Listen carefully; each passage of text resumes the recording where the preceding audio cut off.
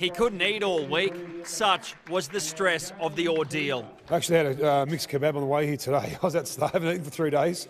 Um, no, you know what it's like when you're in, involved in dramas. It's um, it eats away. You can't sleep.